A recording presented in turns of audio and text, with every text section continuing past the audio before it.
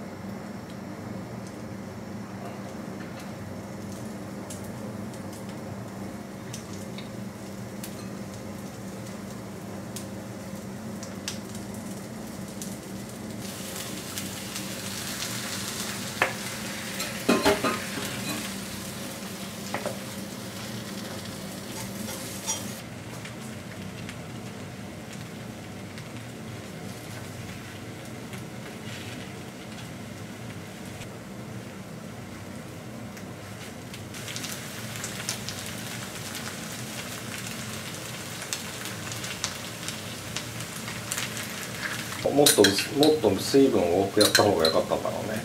あそういうこと？うん。なん。かこれなんか手のにな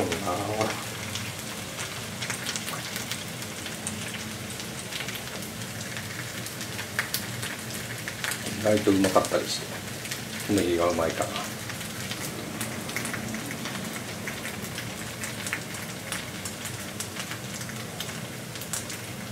とマヨネーズだったね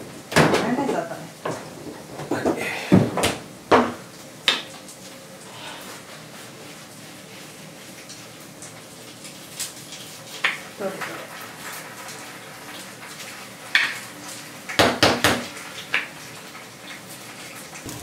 なんか知らないけど小麦粉自体がうまい。あ食えるな。あの大手に売ってあるじゃん？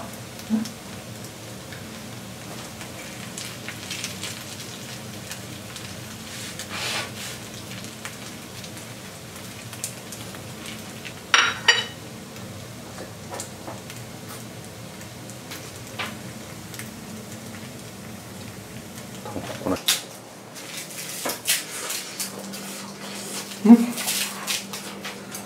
どんな感じでこう。うん。食える。丸ままんまだね。うん。ケチャップと醤油とだしと。っていう感じだよね